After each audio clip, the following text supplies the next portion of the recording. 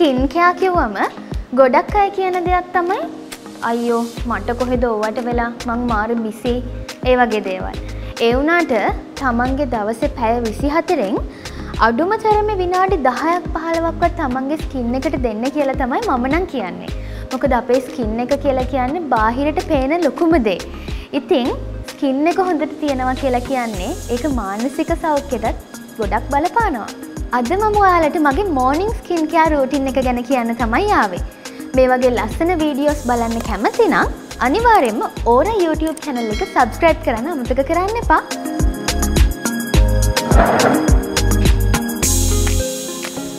ඉතින් මමගේ මෝනිින් ස්කින් කෑ රෝටින් එක පටන් ගන්නේ හොඳ පිරිසිදු වතුර වීදුරුවකින්.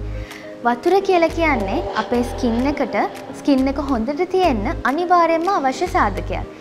ඉතින් දවස පටන් ගන්න අනිවාර්යම වතුර වීදුරුවකින් හැමෝටම හොඳයි.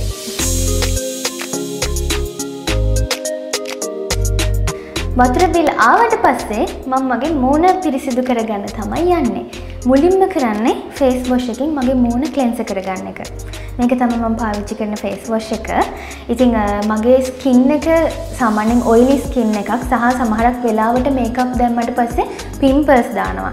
ඉතිං මේක තමයි මට හරියනම ෆේස් වොෂ් එක. ඉතිං අපි මේකින් කලෙන්ස කරලා මුහෙන මුලින්ම. මේකින් මෙහෙම ටිකක් ගන්න. මොකද වතුර දැම්මම මේක ගොඩක් වෙනවා.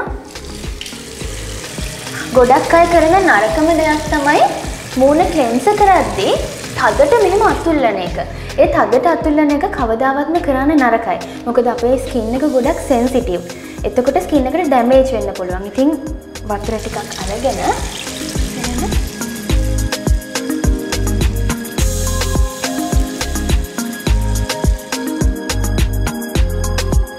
ෆේස් වොෂ් එකෙන් මම මගේ මූණ ක්ලෙන්ස කරගත්තා. ඊට පස්සේ අපි ඒක හොඳට තෙත මාත්තු කරගමු මුලින්ම.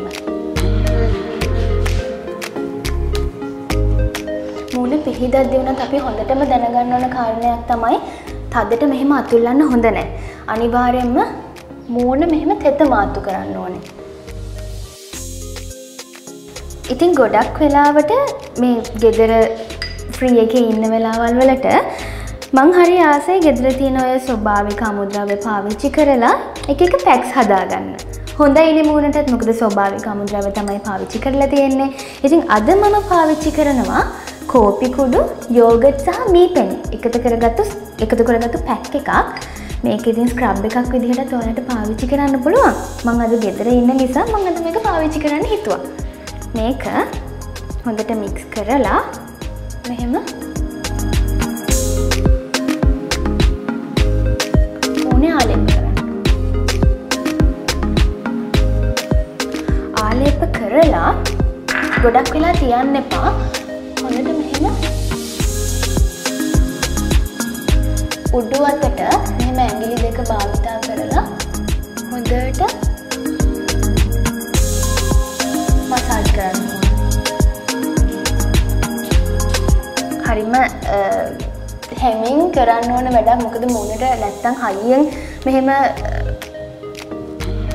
දිගටම ඔගොල මේ එක්සසයිසික මුන්ට කරන්න ගත්තොත් එහෙම අනිවාරයෙන්ම මුණ ඩැමේජ් වෙන්න පුළුවන්. පිම්පස් තියෙනවන සහ මුණ ගොඩක් සෙන්සිටිව් නිසා. ඉතින් තප්පර කිහිපයක් හෝ විනාඩි ගානක් ඔබට පුළුවන් කාලයක් මේක කරලා ඊට පස්සේ හොඳට මේක හොදලයවන්න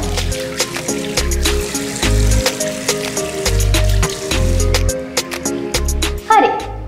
ඉතින් මම මගේ ස්ක්‍රබ් එකත් පාවිච්චි කරලා ස්ක්‍රබ් එක කරදි අනිවාර්යෙන් මතක තියාගන්න ඔගොල්ලෝ විනාඩි ගානක ඔගොලන්ට අවශ්‍ය කාලයක් ස්ක්‍රබ් එක කරගන්න මොකද ස්වභාවික අමුද්‍රව්‍ය වලින් මම මේක හදාගත්තු නිසා කොහොමත්ම මූණට අහිතකර වෙන්නේ නැහැ.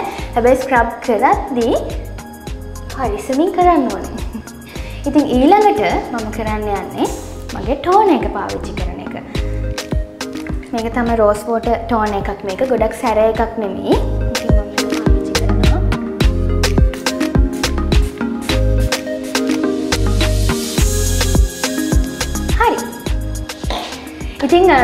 මේකප් දානවනන් එලියට ඇද්දී ඔයාලගේ මෝනිං මොකක් හරි වැඩක් තියෙනවනම් මේකප් දානවනම් අනිවාරෙන්ම සන්ක්‍රීම් එක හරි ඔයාලගේ ඩේ ක්‍රීම් එක හරි අනිවාරෙන් පාවිච්චි කරන්න ප්‍රයිම් එක පාවිච්චි කරන්න මේකප් දාන්න කලින් අදිතින්මං ගෙදෙට්ට වෙලා ඉන්න නිසා මේකප් දාන්න එනඟපියම් ඉතින් මගේ ස්කින් කෑ රූටින් එකේ අත්‍යවශ්‍යම දේවල් ටික මම කරලා ඉවරයි. හැබැයි තාම ඉවර නැහැ. බ්‍රෙක්ෆස්ට් එක ගන්න ඕනෙනේ. ඉතින් බ්‍රෙක්ෆස්ට් එක ගනිද්දී මම ගොඩක් වෙලාවට බර ආහාර ගන්නෙ නැහැ උදේ කෑමට. ගොඩක් වෙලාවට එක්කෝ ෆෘට් අම්ම හදලා දෙන ෆෘට් ජූස් එකක් නැත්නම් වෙජිටබල් සලාඩ් එකක් ඒ වගේ දේවල් තමයි ගන්නෙ. දැන් අද නම් මම තෝරගත්ත ඕට්ස්. ඕට්ස් තියෙනවා, එතකොට ආමන්ඩ්ස් තියෙනවා, මෙතන ප්ලම්ස් තියෙනවා. ඉතින් දවසකට අනිවාර්යෙන්ම ආමන්ඩ්ස් හැට හයක් හෝ හතක් ඔයාලගේ දිනපතා ආහාරයට එකතු කරගන්න පුළුවන් නම් නැත්නම් නිකන් ඉද්දි හරි හපහප ඉන්න පුළුවන් ආමන්ත්‍රයට. ඉතින් ඒ වගේ දෙයක් එකතු කරගන්න පුළුවන් නම් ඒක ශරීරයට ගොඩක් පෝෂ්‍යදායී වෙනවා. ඉතින් මම දැන් මගේ බ්‍රෙක්ෆාස්ට් එක හදාගන්න හදන්නේ. අපි ඕට්ස් එකට ෆ්‍රෙෂ් මිල්ක් එක දාගන්නවා මුලින්. ඊට පස්සේ හොඳට මිශ්‍ර කරලා මං කියවනේ ඉස්සරලා ප්ලම්ස් ආසයි කන්න ප්ලම් ඉතින් මම එකතු කරගන්න ඔයාලට පුළුවන් ඉතින් කෙසල් ගෙඩි අම්බ ස්ට්‍රෝබෙරිසේ වගේ පළතුරු ජාති එකතු කරගන්න පුළුවන් ඔයාලට මේකට.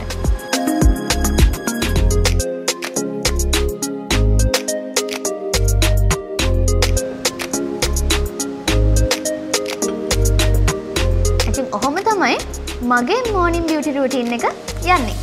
ඉතින් ඔයාලට අනිවාරයෙන්ම තව මේ වගේ ලස්සන වීඩියෝස් බලන්න අවශ්‍යයි නම් ඕර YouTube channel එක subscribe කරලා තියාගන්න.